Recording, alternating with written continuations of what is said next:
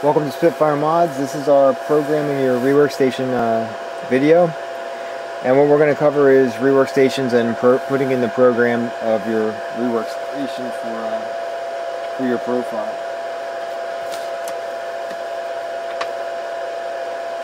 Alright, so this unit is one of our pretty, this is a pretty common uh, foreign unit. It's not a, uh, not one we highly recommend, but it's a good cheap alternative to um, the more expensive units. And it's pretty much, it's an HR6000, same controls as an IR6000, uh, both Skottle, Honton, uh, ACHI, any unit that has the multi-stage uh, PC410 along with a lower hot air, fixed uh, hot air unit. This one is a Polish unit. You can basically just set the value you want.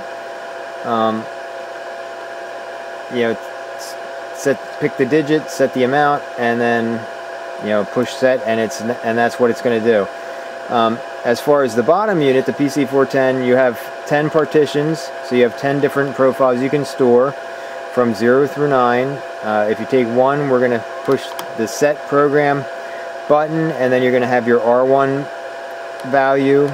You're going to have your L1, your D1, and then your R2, your L2, your D2 and you're going to basically be able to go through your profile. Um, so the question is, what's R1, what's L1, what's D1, what, what do those values mean? Basically, um, and, and with any of the profiles on the other machines, it would be simpler typically um, than this unit, but your R1 is your ramp rate, and most machines have the ramp rate built in, so you don't usually have to set that. So your R1 will be your ramp rate. Typically, it's going to be between 1 and 3 degrees per second. So on the IR6000 or the HR6000, uh, 3 is fine for your R, R values, and it's going to be the same for all your R values. So all your R values will typically be set to 3. Your L1 is your target temperature, and your D1 is your time you're going to go to that temperature.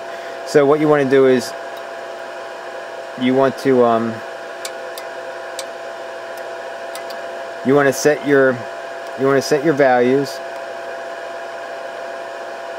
You're going to want to set your values and uh, and program your machine. So again, if you go into the set values, you're going to have an R1, an L1, and a D1, and then you're going to go to your next stage. You're going to have R2, L2, D2. So R1, L1, D1, and then over to R2, L2, D2. Those are your different stages. So if you have your profile, um, if you bought a profile from Spitfire Mods, you're going to have those stages on, on your sheet and again your um, your your only two really important. The R value is typically set to 3 so that one's an easy one and it's always set to 3 no matter what stage you're in. So your D your D value and your L value is your dwell time and your temperature. So your L value is going to be the temperature for that stage and then your D will be your dwell time or the time you want it to take to get to that to that temperature. So Following your profile, profile sheet, you're going to go ahead and key those in. Um, typically, you're going to select the partition you want, and then you're going to press the Set Program button or uh, you know Enter button. Then you're going to you're going to enter your parameter, and then you're going to hit Parameter Set, and then you're going to go to the next one. You're going to enter that program set, and you're going to go through that whole process and repeat that until you get to your last value. If there's a value in there and you don't have a value for that phase, you're just going to set it to zero or or you know blank it out so that it ends the profile and by setting those values to zero that will terminate the profile at that phase.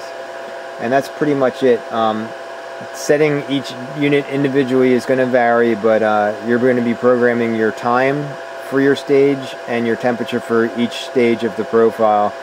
And once you get them all entered uh, that will make up the entire profile.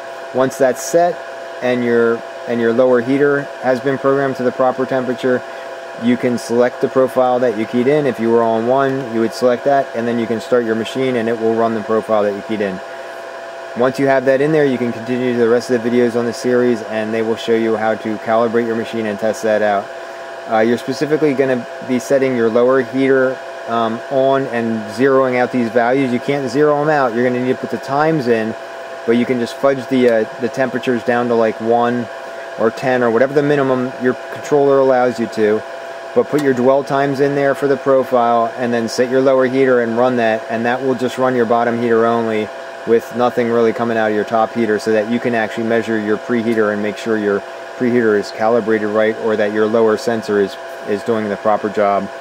And uh, and you'll see that in one of our other videos series. So this is our programming uh, video. Thank you for watching and uh, enjoy the rest of the videos in the series